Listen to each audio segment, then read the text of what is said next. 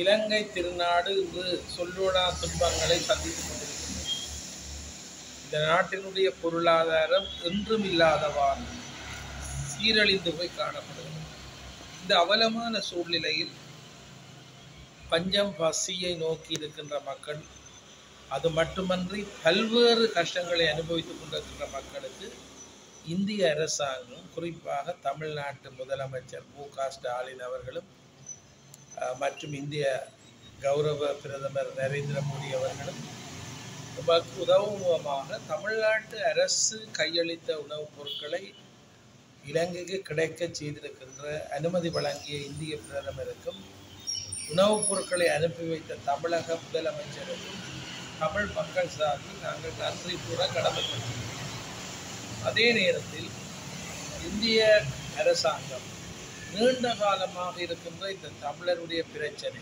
இந்த நாட்டிலே போர் ஏற்பட்டு தமிழர்கள் சொல்லோனா துயரங்களை அனுபவித்து இப்பொழுதும் பொருளாதார கஷ்டங்களினால் எல்லோரும் கஷ்டப்படுகிற வேளையில் இலங்கை இலங்கை தமிழர்களுக்கான நிரந்தர ஒரு தீர்வை இந்தியா உடனடியாக இந்த வேளையை பயன்படுத்தி இலங்கை அரசாங்கத்தோடு பேச்சுவார்த்தை நடாத்தி ஒரு நல்ல தீர்வை ஏற்படுத்தி மக்களுக்கு நிரந்தர விடுவை கொடுக்க வேண்டியது ஒரு பாரிய கடமையாகும். அதை இந்த சந்தர்ப்பத்திலே கௌரவ இந்திய பிரதமர் முன்னந்து செயற்படுத்த வேண்டும். தமிழ்நாட்டில் இருக்கின்ற சகல அரசியல் கட்சிகளும் வேறுபாடுகளை இன்றி இலங்கை தமிழருடைய பிரச்சனையில் நிரந்தர தீர்வை ஏற்படுத்தி கொடுக்க வேண்டும் என்று இந்த வேளையிலே வேண்டுவதோடு குறிப்பாக இலங்கையிலே இப்பொழுது பலாலி விமான நிலையம் செயற்பட இருக்கின்றது என்ற செய்தி மகிழ்ச்சியை தருகிறது. இதற்காக அயராது உழைத்திருக்கின்ற இந்திய குறிப்பாக இந்தியாவிலிருந்து இங்கே யாழ்ப்பாணத்திற்கு வந்த பாரதிய ஜனதா கட்சியினுடைய தமிழகத்தினுடைய தலைவராக இருக்கின்ற அண்ணாமலை அவர்கள் இந்த முயற்சியை நான் தவறாமல் எடுப்பேன்.